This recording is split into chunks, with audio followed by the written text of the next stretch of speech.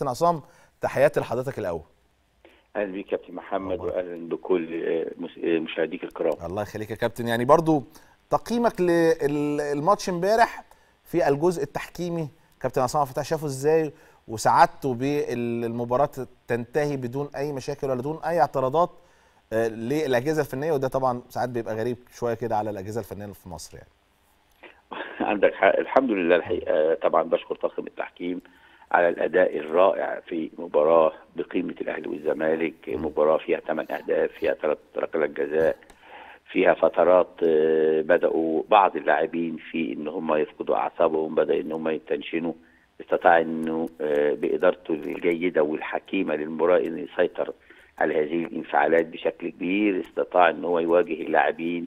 استطاع آه، بقراراته العادلة إنه يكتسب احترام اللاعبين معظم فترات المباراة ما عدا فترات معينة بعض اللاعبين حاولوا يفتعلوا حاجات مش موجودة أو آه، آه، آه، حصل لهم تنشن نتيجة ممكن للنتيجة نتيجة لأشياء أخرى ولكن هو تعامل مع كل هذه المواقف بثبات انفعالي غير عادي الحقيقة نتيجة لهدوءه تركيزه إدارته الجيدة للمباراة.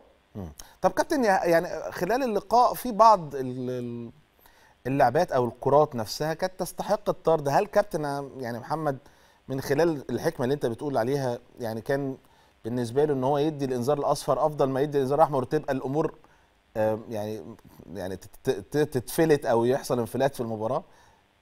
لا هو تعال نحلل. يعني أنا طبعا شهادتي مجروحة ولكن نرجع لكل المحللين على مستوى القنوات. تعال نحلل نجيب أي حالة ونحللها. من الحالات اللي البعض قال إن هي تستحق كارت أحمر. ما كانش فيه كارت احمر الكارت الأحمر ليه اعتبارات معينة آه، آه، وليه قانون معين اللي هو لازم يكون هناك استخدام قوة زايدة. قول لي مين استخدم قوة زايدة في خلال تدخلاته؟ حتى اللعبة اللي قالوا عليها كارت أحمر ما بين زيزو وقفشة على ما أعتقد لا ترتقي على الإطلاق لأكثر من الكارت الأصفر ولا وجود لاعتبارات. يعني لعبة طارق حامد مثلا والسوليه كابتن وزيزو برضو آه، آه، كلها لا لا ترتقي بالكارت الاحمر، الكارت الاحمر يحتاج إلى قوة زائدة أو قوة مفرطة. لم يتم آه، آه، استخدامها في خلال هذه المباراة من من قبل أي لاعب على الإطلاق، أنا بكلمك بكل أمانة. وده على فكرة من كل استدارات التحليل على فكرة ال- ال- بالنسبة للتحكيم. آه، ما جاش أي حالة فيها استخدام قوة زايدة عشان يكون هناك كارت احمر في المباراة. تحليل ضربه جزاء نادي الزمالك آه، من وجهة نظر حضرتك كابتن عصام.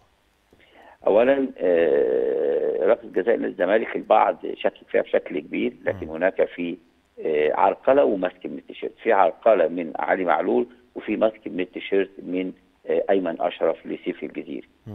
آه، نفس القصة بالنسبة لضربه النادي الجزاء النادي الأهلي. آه، نفس القصة كان أعتقد حمدي المسلوسي على ما أتذكر. يعني هو آه هو اللي, اللي ارتكب المخالفتين وكانوا واضحين جدا آه، ركلات جزاء. وما أعتقدش آه، إن حتى لو كان اعتراض بسيط فهو اعتراض عادي مقبول آه، في كرة القدم. طيب أنا بس سؤالي ما قبل اللقاء كابتن واختيار كابتن محمد عادل بذاته يعني. آه، كان ال- الكلام أو كان المنحصر ال- ال- الأسماء على كابتن إبراهيم نور الدين كابتن بنا كابتن محمد عادل. هل تم اختيار كابتن محمد عادل نتيجة إن أعطاء فرصة ليه إن السنة اللي فاتت كابتن بنا هو اللي كان متواجد؟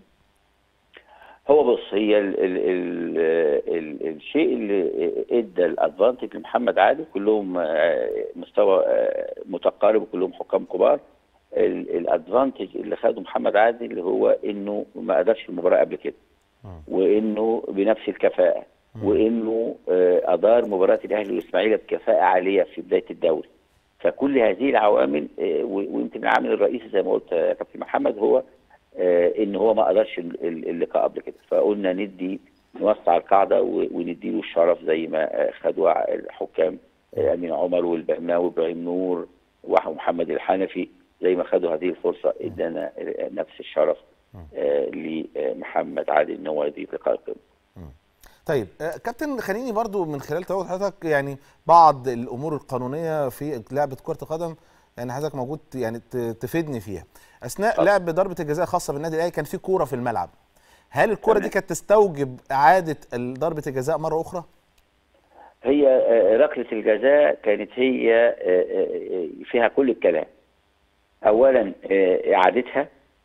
ثانيا الكرة اللي حضرتك قلت عليها. هو طبعا الكرة اللي حضرتك قلت عليها لحظة علي معلول كان بيسدد الكورة. تم آه، كسف الكوره داخل الملعب ودخلت منطقة الجزاء. هنا كان الحكم أشار باستئناف اللعب وعلي معلول بيسدد في اللحظة اللي بيسدد فيها علي معلول كانت الكورة دي إيه؟ موجودة داخل منطقة الجزاء. هل الكورة دي أثرت على أي حد؟ هل الكورة دي تدخلت في اللعب لم يحدث هذا. فهنا الحكم بيسمح باستمرار اللعب. وطالما الكره ما أثرتش هنا بيحتسب لو الكره جت جون بيحتسب الهدف. لكن الحالة الوحيدة إن الحكم يوقف اللعب لو تدخلت هذه الكرة آه، في اللعب أو قربت بشكل كبير من مكان اللي هتسدد فيه ركله الجزاء مم. وما يتمش أي قرار من الحكم في الوقت ده كابتن بخصوص الفريق الخاص بنادي الزمالك أو أي حد من الجهاز الفني أو الجهاز الإداري في نادي الزمالك؟ ما ما إحنا ما عرفناش مين اللي رمى الكورة للأسف. آه. هم لو عرفوا مين اللي رمى الكورة كان هياخد كارت أحمر. آه.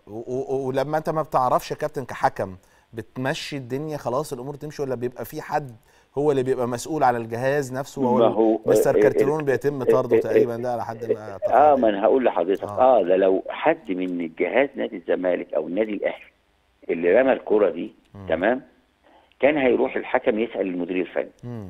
مين اللي رمى الكوره هيقول له آه، عصام عبد الفتاح هيطرد عصام عبد الفتاح مم. هيقول له ما أعرفش هيطرد المدير الفني لكن ممكن يا كابتن محمد إن اللي رمى الكوره دي يكون أحد آه، الصبية حامل الكرات مم. ممكن يعني برضو يكون حد من دول آه، هم اللي رمى الكورة يعني.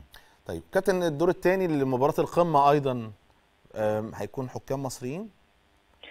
أعتقد بعد هذا الأداء آه، أعتقد إن آه، ما نتكلمش بقى في القصة دي. نثق في حكامنا المصريين لأن هم أجبرونا إن إحنا نثق فيهم.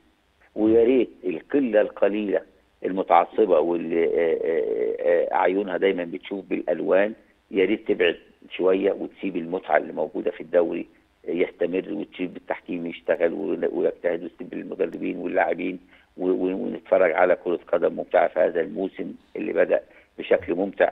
انت شايف معظم المباريات يا كابتن محمد كلها أهداف غير عادية يمكن ما حصلتش منذ سنوات طويلة في أي دوري من الدوري آه، المصري. هذه الأهداف اللي حصلت حتى في ثلاث أسابيع فقط آه، ماتش أهلي وزمالك بتشوف ثمان تجوان يعني.